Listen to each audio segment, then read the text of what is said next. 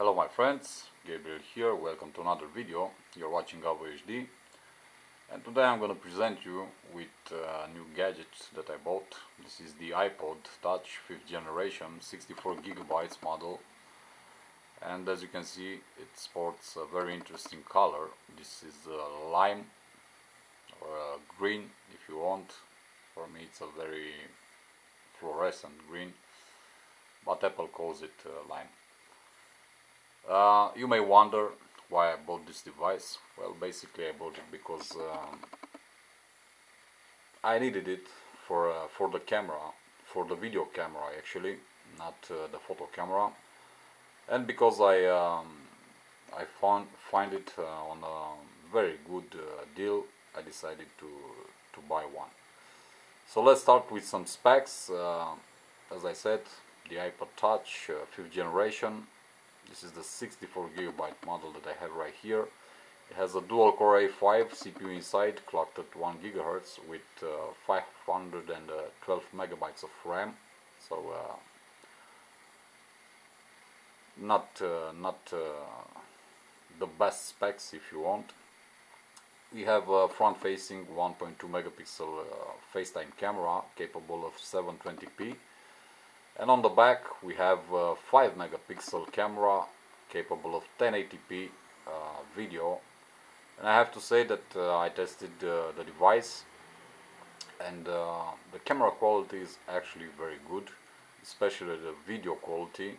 I really like it. So uh, one of my concern regarding the video recording capability is gone because uh, this is mainly the reason for which I bought this device everything else is the same. This basically is an iPhone without the um, GSM functions. You cannot insert a SIM card in this. This is a media player if you want. You can still use it uh, like uh, like a regular iPhone but uh, you won't be able to to make any voice calls at least uh, not uh, with a SIM card. You can do calls with uh, I don't know Facebook Messenger Skype Tango WhatsApp and so on the device uh, runs on iOS 8.4.1 which is uh, the latest um, iteration of the software and in the next coming days it will be able to update to iOS 9 as Apple has uh, already announced. So if you're wondering if uh, this device um, is good for something, if it's worth buying it, then uh, rest assured that uh, it will support iOS 9 and uh, basically it's still somewhat uh, future proof. Although the specs aren't the most impressive ones. Apple has already released um, with the iPhone 6s uh, the sixth generation of the iPod which is uh, very powerful device with um, very powerful specs with uh, very good CPU uh, GPU and so on. So you can buy that one if you want but it will be a lot a lot more expensive than uh, the fifth generation that I have here. Battery life has been great. I get uh, at least one day of uh, battery usage with my type of usage let's go to settings again. Usage. And as you can see right here I have no problems no problems with battery life.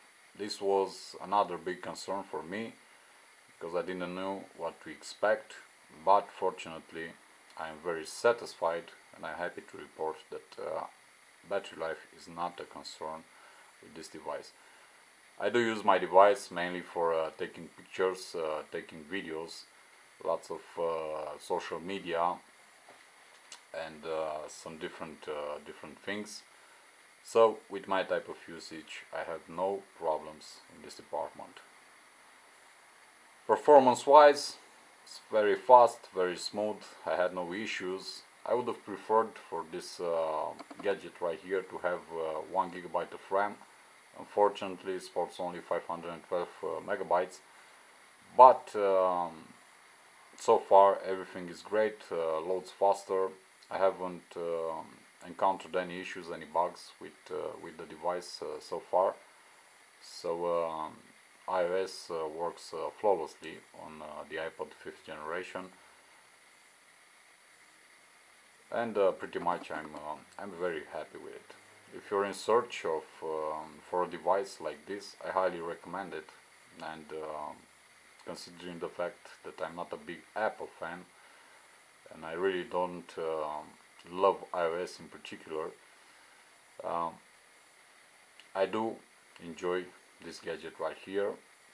I'm very satisfied with uh, with this gadget, so I highly recommend it this is my uh, real user opinion so uh, if you like the video hit the like button share and uh, feel free to subscribe to my channel for future videos. As always my friends I'm Gabriel. Be safe be good. See you in the next one. Peace